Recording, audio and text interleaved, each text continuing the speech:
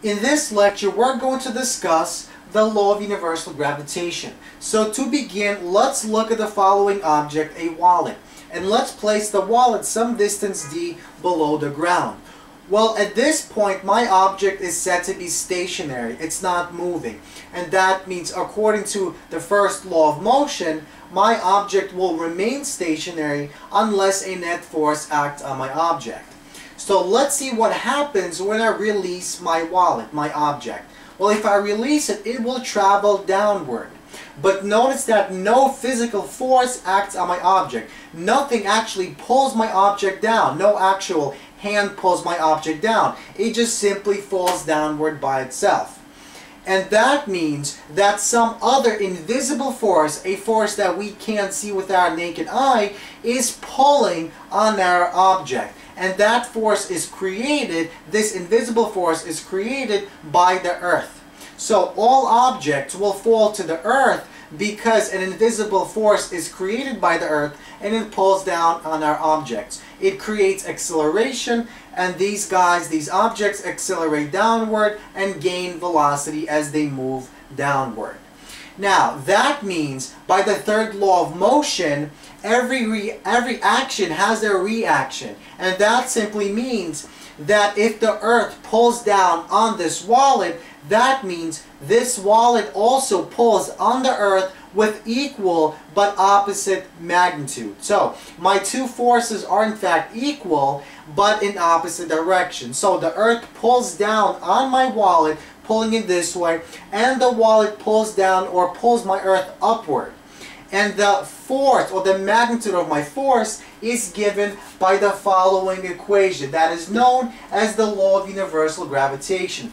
This equation states that that in order to find the magnitude of my force, I simply take my gravitational constant g, which is 6.67 times 10 to the negative 11 meters cubed divided by kilograms per second squared or times second squared, multiplied by mass 1, the mass of my wallet, multiplied by mass 2, the mass of my earth, divided by the distance between their center of masses. Okay? Remember, center of masses is not the same thing as the surface to surface. In other words, let's suppose I have these two masses, spherical masses, that have the same mass and also have uniform mass density.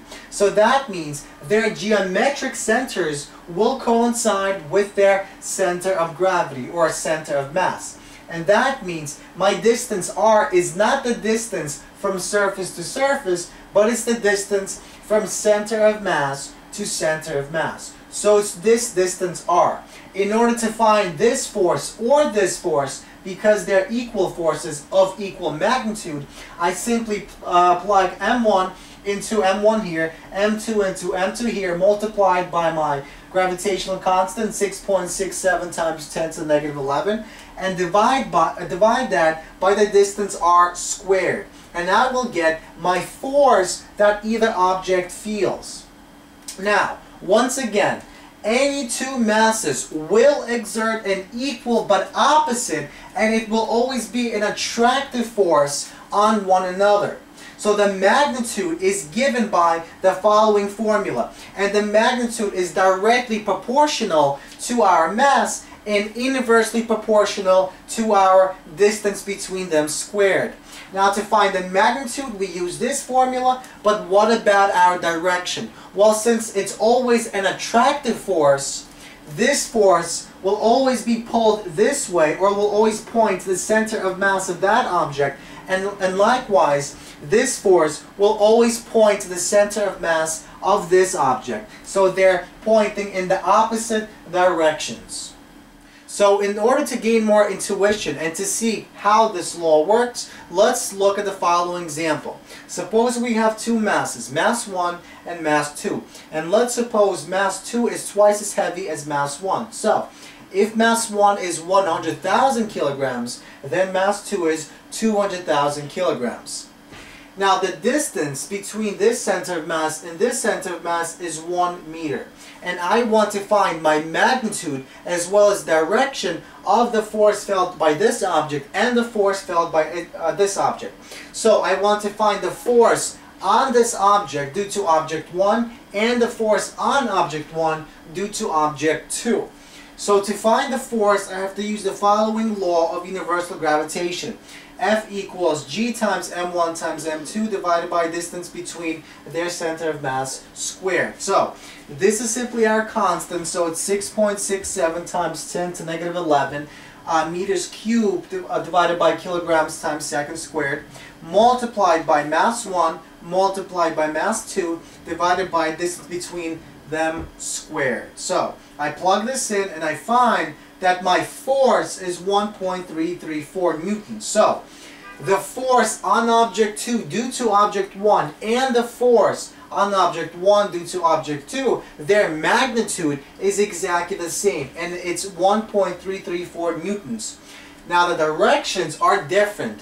This force points in this direction and this force points in the opposite direction in this direction. So they're attractive forces, so they're, point, they're pointing in different directions.